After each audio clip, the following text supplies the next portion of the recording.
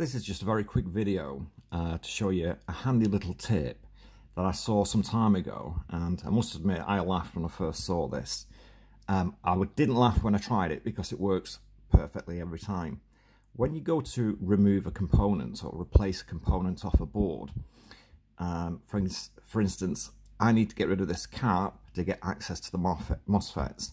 So you've got to turn it over obviously desolder the two legs and then that leaves solder in the holes for you to clean out.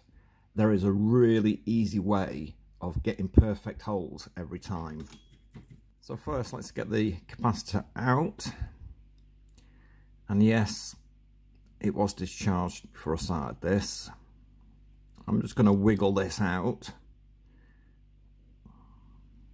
You can use hot air but I'm just using an iron you just rock it back and forward a little bit, the legs will start to go through and out the other side and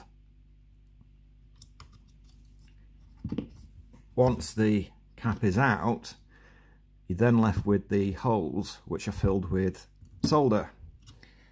And the only thing that you need really and you are going to laugh at this because I laughed at it when I first saw it but it does work that's your tool, a toothpick. Yeah, I know, sounds stupid or what. Heat the hole back up.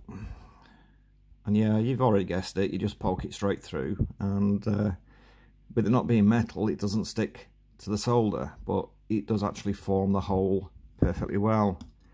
I can leave that stuck in, that's gone straight through to the side now. And then, again, you just wiggle that out. Heat up the other hole might do it first time every time or if not just a couple of times and it'll go through. Just depends what you what type of hole it is. But again, that's gone through to the side.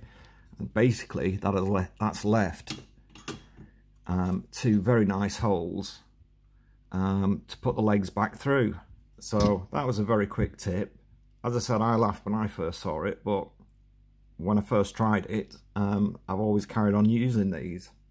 It's a nice little tip. I've just taken the MOSFETs out and uh, used the toothpicks to do the holes and just wanted to show you that it does actually work. I've got a light source behind the circuit board and the light is coming through the holes so it does a very good job. Give it a try and see what you think.